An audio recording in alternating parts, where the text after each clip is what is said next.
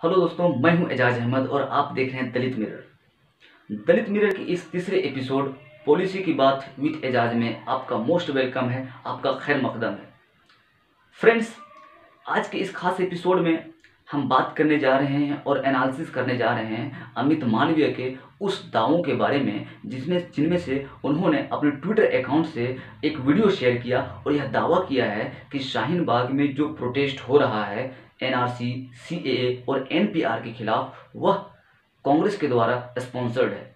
मतलब कांग्रेस पार्टी उन तमाम लोगों को प्रत्येक दिन पैसा दे रही है पाँच सौ रुपये जो लोग इस प्रोटेस्ट में शामिल हो रहे हैं। जिसका मुख्य मकसद है देश में अराजकता फैलाना और देश को इंटरनेशनल लेवल पे बदनाम करना। ऐसा कहना है अमित मालवीय का। हालाँकि हम लोग पहले ये जानने की कोशिश करेंगे कि अमित मालवीय है कौन।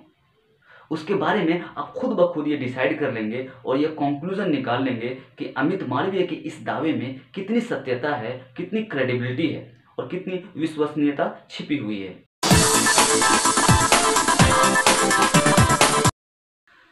अमित मालवीय भारतीय जनता पार्टी के आईटी सेल का हेड है और इनके अलावा उन गिरोह का भी हेड है जो सोशल मीडिया पे, चाहे वो प्लेट सोशल मीडिया पे, चाहे वो फेसबुक हो ट्विटर हो, या इंस्टाग्राम हो, या तो अन्य सोशल मीडिया प्लेटफॉर्म हो, वहाँ पे मौजूद रहते हैं। और महिलाओं को गाली देते हैं, महिलाओं को रेप करने की धमकी देते हैं, और जो भी कोई लोग प्राइम मिनिस्टर को क्रिटिसाइज करते हैं, या उनकी किसी भी पॉलिसी को क्रिटिसाइज करते हैं तो ट्रोलर्स उसको ट्रोल करना शुरू कर देते हैं। इस गिरोह का अमित मालवीय हेड है। आइए कुछ और एग्ज़ाम्पल लेते हैं एक एक करके, और अमित मालवीय को क्लोज से समझने की कोशिश करते हैं। बात है 16 दिसंबर 2019 का। अमित मालविया ने इसी तरह अपने ट्विटर अकाउंट से एक वीडियो शेयर किया था, जिसमें से उन्होंने यह दावा किया था कि अलीगढ़ मुस्लिम यूनिवर्सिटी के कैंपस में वहाँ के स्टूडेंट्स ने देश के खिलाफ नारे लगाए, देश के टुकड़े टुकड़े होने के नारे लगाए। और हिंदू से आज़ादी चाहिए, इस तरह के डेरोगेटरी नारे वहाँ पे लगाए गए। ऐसा उन्होंने अपने ट्विटर के अकाउंट से जो वीडियो शेयर किया था, उस वीडियो के माध्यम से उन्होंने यह दावा किया। उसके बाद ऑल्ट न्यूज़ ने इसे फैक्ट फाइंडिंग किया और उसके बाद ऑल्ट न्यूज़ ने यह पाया अपने फैक्ट फाइंडिंग में कि यह जो वीडियो अमित मालवीय के द्वारा शेयर किया गया था, यह एक डॉक्टर्ड वीडियो था। यह एक डॉक्टर वीडियो था, जिसमें से वाकई में स्टूडेंट नारा लगा रहे थे, लेकिन वह नारा लगा रहे थे सावरकर से हमें आज़ादी चाहिए। वो नारा लगा रहे थे हमें हिंदुत्व से आज़ादी चाहिए, ना कि हिंदू से आज़ादी चाहिए। उसके बाद फिर अमित मालवीय को शर्मिंदा होना पड़ा। और फिर उन्होंने इस मैटर पे फिर मौन साध ली। आइए फिर दूसरा एग्ज़ाम्पल लेते हैं। इसी तरह 20 अप्रैल 2019 को अमित मालवीय ने एक एडिटेड वीडियो शेयर किया डॉक्टर वीडियो शेयर किया और उनमें ने, उनमें से और उस वीडियो के माध्यम में उन्होंने यह दावा किया और यह दावा किया कि योगेंद्र यादव, जो स्वराज इंडिया के नेशनल प्रेसिडेंट हैं और फाउंडर हैं वो धर्म के बेस पे राजनीतिक करते हैं, वो जाति के बेस पे अपना राजनीतिक करना चाहते हैं। उसके बाद जब ऑल्ट न्यूज़ ने फिर फैक्ट फाइंडिंग की तो पता चला कि अमित मालवीय ने इसे डॉक्टर्ड किया और शेयर किया सिर्फ़ लोगों को गुमराह करने के लिए। इसके बाद फिर अमित मालवीय को शर्मिंदा होना पड़ा। आइए एक और एग्ज़ाम्पल लेते हैं और इसे समझने की कोशिश करते हैं। बात है 11 सितंबर 2017 का। अमित मालवीय ने अपने ट्विटर के अकाउंट से फिर इसी तरह एक डॉक्टर वीडियो शेयर किया था, जिसमें से उन्होंने इस वीडियो के माध्यम से फिर दावा किया था कि रविश कुमार जो एनडीटीवी के एंकर हैं वो किसी राजनीतिक पार्टी से एफिलिएटेड हैं। और और इस बात का उन्होंने खुद एक्सेप्ट किया है और ये रहा वीडियो। उसके बाद ऑल्ट न्यूज़ ने फिर फैक्ट फाइंडिंग की और इसके साथ द वायर ने भी इस इसके बारे में फैक्ट फाइंडिंग की और पाया ये कि, कि यह वीडियो एडिटेड है। डॉक्टर्ड है, जो एक्चुअली में ये था कि ये वीडियो चौदह मिनट का था। उसको क्लिप में एडिट करके दस सेकेंड का बनाया सिर्फ़ लोगों को गुमराह करने के लिए। फिर अमित मालवीय को शर्मिंदा होना पड़ा और ये शर्मिंदा होने का सीरीज़ अमित मालवीय का चलता रहा। एक और एग्ज़ाम्पल लास्ट लेते हैं, उसके बाद छोड़ देते हैं। सत्ताईस दिसंबर 2019 को अमित मालवीय ने इसी तरह ट्वीट किया। और उस ट्वीट में उन्होंने लिखा कि राजदीप सरदेसाई को आईएसआई का पीआर होना चाहिए। मतलब उन्होंने डायरेक्टली ये कहा कि राजदीप सरदेसाई एक आतंकवादी है। और इस तरह से कहना बिल्कुल भी वाकई में कंडेमेबल है कि किसी भी एक प्रोमिनेंट जर्नलिस्ट को आप आतंकवादी कैसे कह सकते हैं। हालाँकि उसके कुछ दिन बाद एडिटर गिल्ड ने तुरंत कंडेम किया स्ट्रांगली और कहा क्या, और कहा this is very tasteless and deplorable statement made by the Amit Malviya अब इन तमाम चीज़ों को देखते हुए in the view of all this thing in the view of all this thing इन तमाम कर्मकांड को देखते हुए अब आप खुद डिसाइड कर सकते हैं कंक्लूजन कर सकते हैं कि जो अमित मालविया ने जो 15 जनवरी को जो वीडियो शेयर किया अपने ट्विटर अकाउंट के माध्यम से और उनमें इन्होंने ये दावा किया कि जो शाहीन बाग में प्रोटेस्ट हो रहा है, वो कांग्रेस स्पॉन्सर्ड है और वहाँ पे जो लोग पार्टिसिपेट कर रहे हैं, उसे प्रत्येक दिन पाँच सौ रुपये पैसा दिया जा रहा है, उसमें इस स्टेटमेंट में, इस दावे में कितना दम है, आप आप खुद डिसाइड कर सकते हैं। I hope so Amit Malviya का इस तरह का मैसेज आना ट्विटर के अकाउंट से, और इस तरह का फेक वीडियो शेयर किया जाना, ये व्यक्त करता है, यह इंडिकेट करता है कि भारतीय जनता पार्टी कितनी बौखलाई हुई है। और यह एक डिस्पैरेट अटेम्प्ट है बीजेपी के द्वारा इस मास सिविल मूवमेंट को डिजिटमाइज करने का।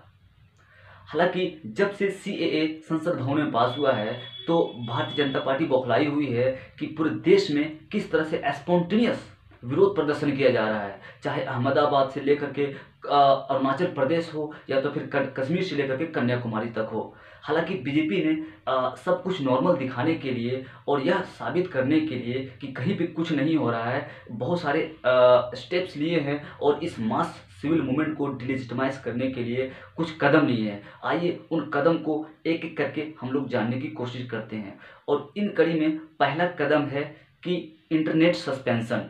देश के साथ साथ पूरे दुनिया ने भी ये विटनेस किया कि किस तरह से सीए के खिलाफ हो रहे विरोध प्रदर्शन को दबाने के लिए इंटरनेट जैसे सस्पेंशन का हाथ हथकंडे को अपनाया गया।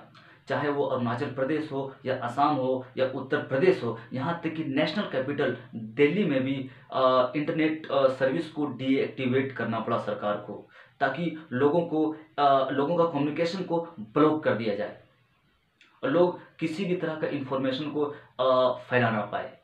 और इस मास मूवमेंट को डिलिजिटमाइज करने के लिए सरकार की तरफ़ से दूसरा कदम रहा। People don't know about what is C और इस मैटर में सरकार ने बहुत मिस इन्फॉर्मेशन फैलाई कि जब लोगों को पता ही नहीं है कि सी है क्या तो लोग विरोध प्रदर्शन क्यों कर रहे हैं? और unfortunately so called mainstream media ने भी इसे बहुत हाईलाइट किया और यह दिखाने की कोशिश किया कि जब लोगों को पता ही नहीं है सी क्या है तो लोग क्यों विरोध प्रदर्शन कर रहे हैं? और यह भी और और और, विपक्षों पर भी यह एक ठिकरा पोड़ने का कोशिश किया गया कि विपक्षी इन लोगों को गुमराह कर रहे हैं।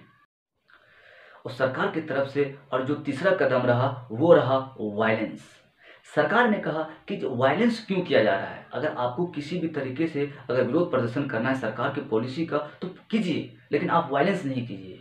और ये बिल्कुल भी सही है, और डेमोक्रेटिक कंट्री में वो किसी भी तरह तरह का वायलेंस बिल्कुल डिप्लोरेबल है और एक्सेप्टेबल नहीं है. लेकिन इसके इतर सवाल यह है कि सिर्फ़ बीजेपी रूल्ड स्टेट में ही वायलेंस क्यों? क्या यह सुनियोजित वायलेंस है? और इन तमाम चीज़ और इन तमाम सवालों का जवाब कुछ दिन पहले बीजेपी के वेस्ट बंगाल के चीफ दिलीप घोष ने दे दिया। उन्होंने कहा कि किस तरह से हमारी सरकार ने आ, हमारी सरकार ने जो सी और एनआरसी के खिलाफ विरोध प्रदर्शन कर रहे थे उसको किस तरह से सरकार ने कुत्तों के तरह से पीटा और कुत्तों के तरह गोलियाँ मारी। और इसका जवाब और इससे यही पता चलता है कि ये जो वायलेंस है ये वायलेंस भी एक सुनियोजित वायलेंस था सिर्फ़ इस मोमेंट को डिलेजिटमाइज करने का। और पांचवा स्टेप रहा पुलिस फोर्सेस का एक्सेसिव इस्तेमाल करना। जैसा कि पूरे देश ने विटनेस किया कि किस तरह से भारतीय जनता पार्टी ने पुलिस का इस्तेमाल किया है इस मास मूवमेंट को डिलेजिटमाइज करने के लिए। पुलिस फोर्स का इस्तेमाल किया है, गोलियाँ चलवाई है। असम में तीन से चार लोग मारे गए पुलिस फायरिंग में, जो लोग सीए के खिलाफ विरोध प्रदर्शन कर रहे थे। उत्तर प्रदेश में इक्कीस से तेईस लोग मारे गए पुलिस फोर्सेस में जो लोग सी के खिलाफ विरोध प्रदर्शन कर रहे थे। और बेंगलोर में तीन से चार लोग मारे गए पुलिस फोर्सेस में जो सी ए एन आर सी के खिलाफ विरोध प्रदर्शन कर रहे थे।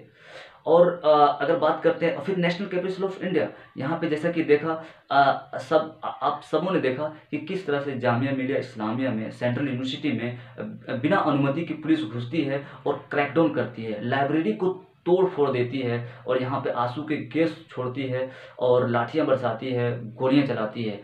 और जिसमें से बहुत सारे स्टूडेंट्स घायल हो गए और जिनमें से एक स्टूडेंट ने अपने आँखें गंवा दी।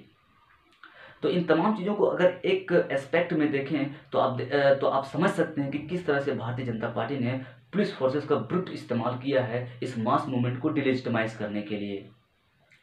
और छठा स्टेप रहा, सरकार के तरफ़ से अमित मालवीय का यह ट्वीट जिसमें से उन्होंने यह दावा किया कि शाहीन बाग में जो विरोध प्रदर्शन हो रहा है, यह बिल्कुल फेक है, बिल्कुल फेक है और एस्टे और एक स्पॉन्सर्ड है, कांग्रेस स्पॉन्सर्ड है, कांग्रेस फंड फंडिंग है।